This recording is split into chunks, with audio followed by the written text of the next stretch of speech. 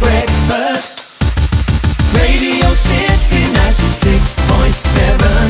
So it's me, Jay, it's Simmo, and we are chuffed to death to be with the legend, Keith Lemon. Speaking of lemon, why do they put lemon in Coke? I never understand it ever. It Doesn't taste nice, does it? There's no point, is there? No. And it said bitter at the end of the other season. Yeah. Well, when- when a seed goes up a straw. Oh, Have you been to Liverpool before, Keith? I've done um, a book signing here before.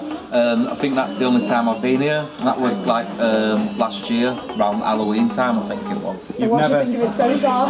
Well, someone asked me that when I got off the, the helicopter, and they said, um, "What do you think to Liverpool?" I went, "Yeah, it's full of planes."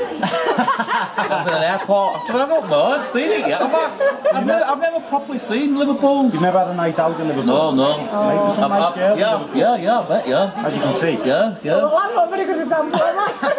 Let me get back in the helicopter. Listen, tell, tell us about the movie, Keith. Keith Lemon, the film, 24th of August. Tell us more. It's um, a moralistic journey about uh, me becoming wealthy, like Richard Branson. Yeah. Um, even more wealthy than him, actually. And, How many uh, millions are we talking here? Gazillions. Gazillions. Yeah, I tell you what, the, it's, it's slightly like a fantasy film because it's, it's it really is about uh, morals and about not changing when you get uh, money and success and stuff, and um, which has been drummed into me. A bit like Uh, Brewster's Millions.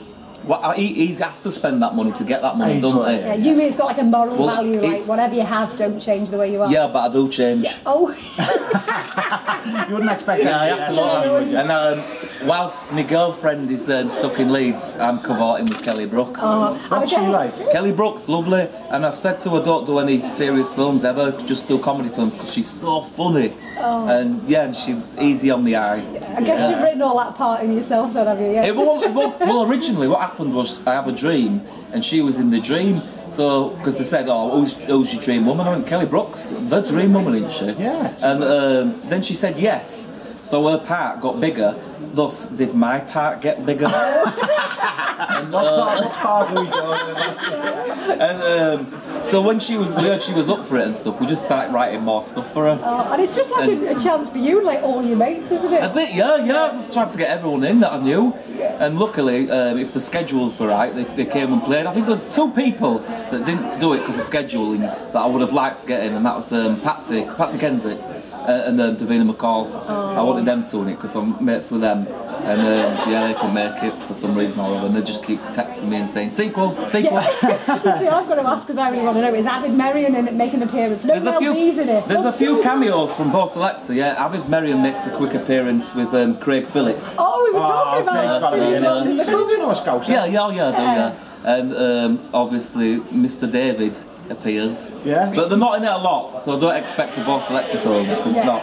But they do appear in it, yeah. I think the bear pops. I don't think. I know he does. The bear pops up. Yeah, he does. We like it when the Yeah, bear pops do. He don't pop up. You don't see him pop up, but he's in it. Well, that's the first. We've got to ask about Little Vern as well. Yeah, it's fantastic. Yeah, it's a You've good got mates with him. Yeah, I've known him years, um, and we talked about making a film.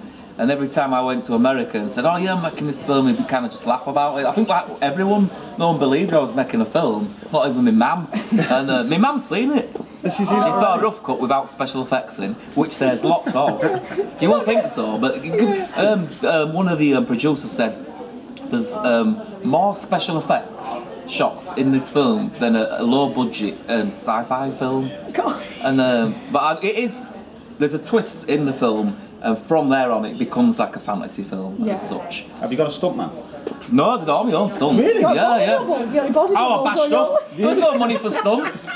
There's no money for stuntmen. So no I- stuntmen, no to do- body Oh, there is. There's Yay. fine. Um, I, have, I, I, I can remember being pushed off a building. I don't know how many times onto a big crash mat, of course. Yeah. And then there was a bit where it was a, it was a set of a building, and um, I stood and I've got wires there that they get rid of, and that was a bit scary, really, because it's quite high, even though it's a fake building.